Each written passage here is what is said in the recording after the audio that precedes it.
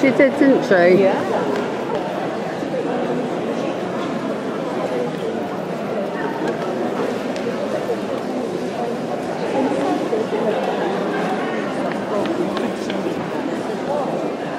She's, you know, when you start champagne, So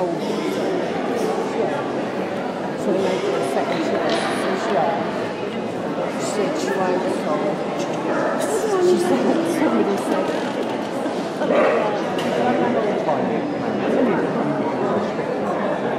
You had to a bit last night to get to um, get to the post office. yeah. If ever I went there, she'd say, you brought the old man. Yeah.